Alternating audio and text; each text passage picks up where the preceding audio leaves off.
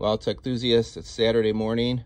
I decided to go ahead and get the room set up, get the extra pair of SB16s in the back of the theater here, replacing the Arendals. Man, these things are heavy. Lifting them by myself, carrying them in the room.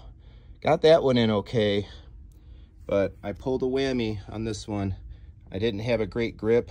I just shimmied past the chairs there, brought it into this corner. You probably can't even see it but yeah, I ding the corner.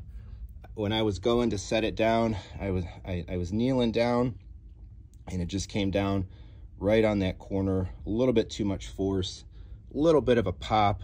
If you really look at the face, you can see the ever so slight little like fascia crack in the corner there. What a bummer. I hate breaking stuff.